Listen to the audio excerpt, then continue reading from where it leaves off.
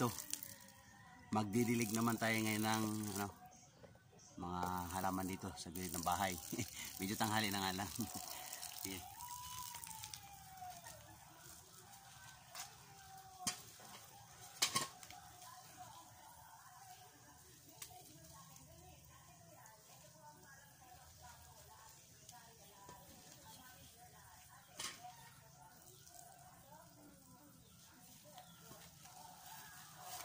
tubig.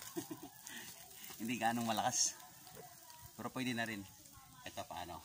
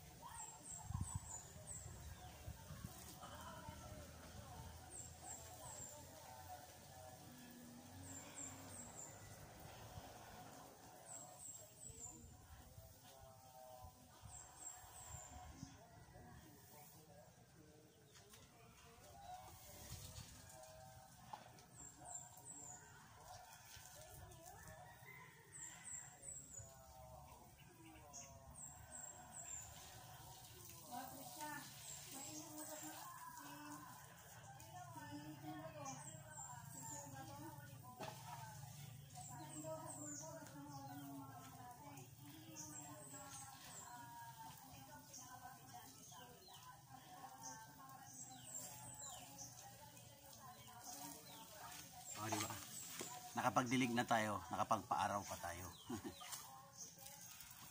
Malaking bagay sa atin yung nagpapaaraw.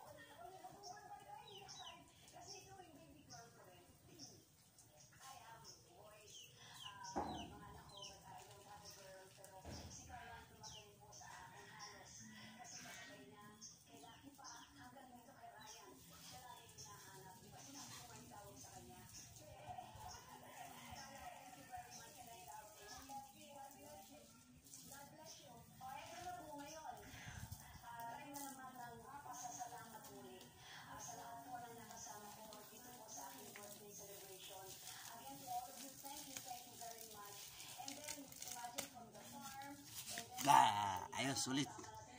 Pinagpawisan tayo ng konti na. Ayan, labas ang pawis. Ayan.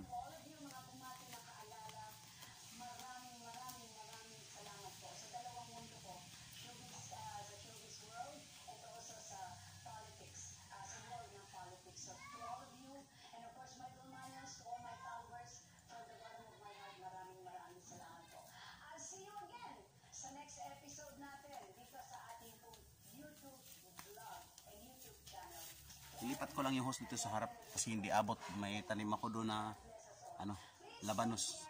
Kaya yung aking silit malunggay, didiligan ko rin.